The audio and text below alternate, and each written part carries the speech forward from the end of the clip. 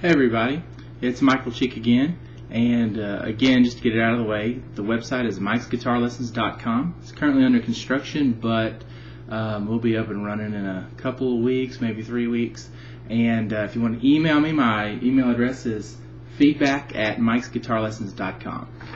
Now, what I think we're gonna we're gonna uh, learn today is part of "The Wind" by Cat Stevens. We haven't done a song like this yet, so um, least I haven't done one like this for you yet, so I wanted to go ahead and and try this one. So this one, uh, let me play a little bit off of, of it from the computer so you can hear it.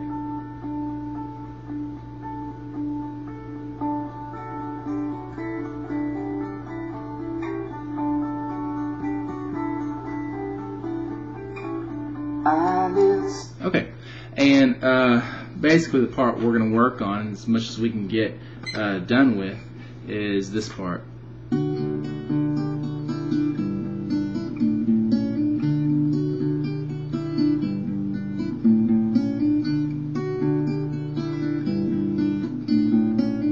Okay, so uh, let's go ahead and start. Now, uh, just so you know, we're going to be using a few chords here that are going to help us uh, get these notes. We're going to be finger picking, and I'll try to get get to that. But to start off with, um, there's some chords you're going to need to know. You've got your regular D chord, and I'm just going to go through these chords right here at the beginning so you know which ones we're going to use. First finger is going to be on the G string in the second fret. Uh, second finger is going to be uh, on the E string in the second fret. And the third finger is going to be in the third fret of the B string. So that's our regular D. Okay? Now we're also going to use D suspended 4. And all you do with that is keep this chord down, but put your pinky in the third fret of the E string so it's in front of your middle finger. And we're also going to use a D suspended 2 that means we're going to pick up both of these fingers. So this E string down here is open, but the other two fingers are staying where they're at. Okay? Now, um, there's some other chords, but let's go ahead and go through those, uh, the parts that use that real quick. All right, I'm going to finger pick it down here so you can see a little better, uh, but I'm not used to doing that, so I'm, i might make a couple mistakes, but let's give it a shot. Um, you're going to start off with the D chord and uh, the one that I just showed you. And you're going to start off uh, basically what happens here is anytime you've got a note on the D string or, or you know you have a bass note actually so it might be on the E string too. But uh, the bass notes are going to be done with your thumb okay? Now uh, you're going to basically assign your first second and third fingers to these top three strings. I, when I say top I really mean the bottom of the guitar. They're the top notes though. They're the highest notes um, so your third finger is going to pluck anything on the E string. Your second finger is going to pluck anything on the B string. And your first finger is going to pluck anything on the G string. Okay? So we're going to start off with the third finger on the E string and thumb on the D string. You're going to pluck both of those together. Okay? So that was D string and E string. Okay?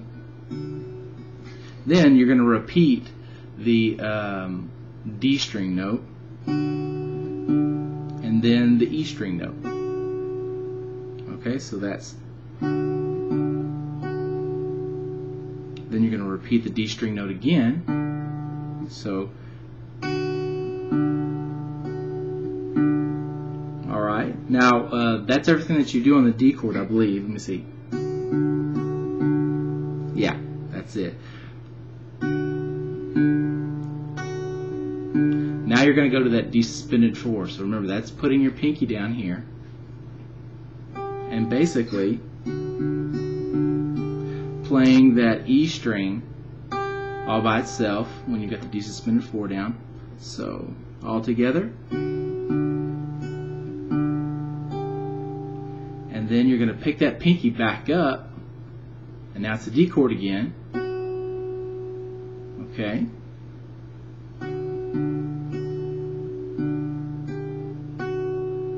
Now we're going to go to the D suspended 2. If you remember, that's our middle finger coming off, and so the E string is now open. Okay, so it's three notes in a row, like that. Third, second, open. So all together, that's going to be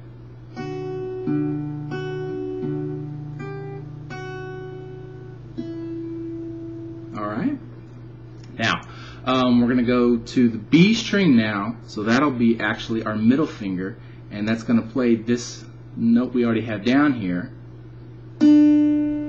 Third fret on the B string, but we've already got it down, so we just pluck it. So all together, that's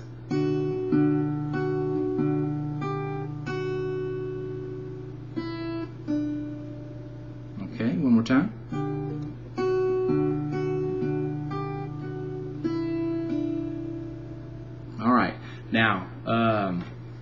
Let's. Let me play through it one time fast so I can figure out where I'm at.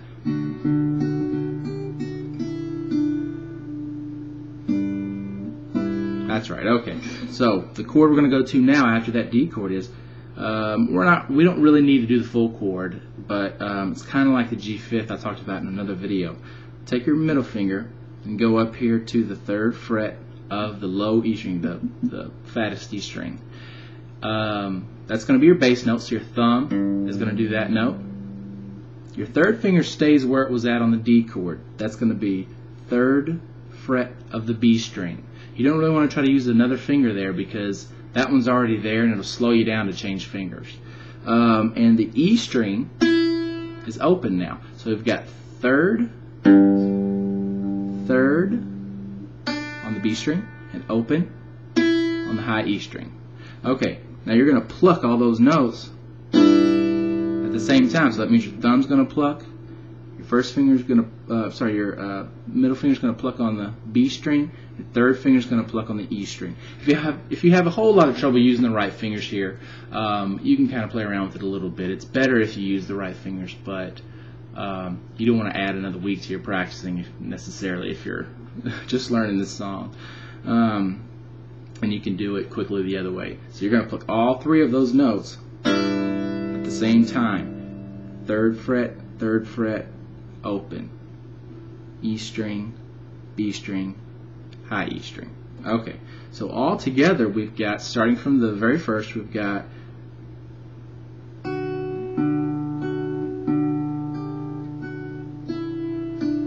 okay, and then to the G fifth. And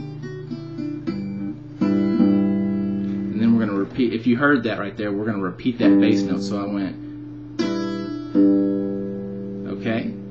Now that gets you to your next chord. Um, I wasn't timing this lesson, so I'm not for sure if I'm running up on 10 minutes or not. So I'm going to go ahead and stop there. But uh, I hope this helps you get started on that song. Sometimes the finger picking ones can be uh, a little difficult for people who haven't tried them before. So I hope this helps you out.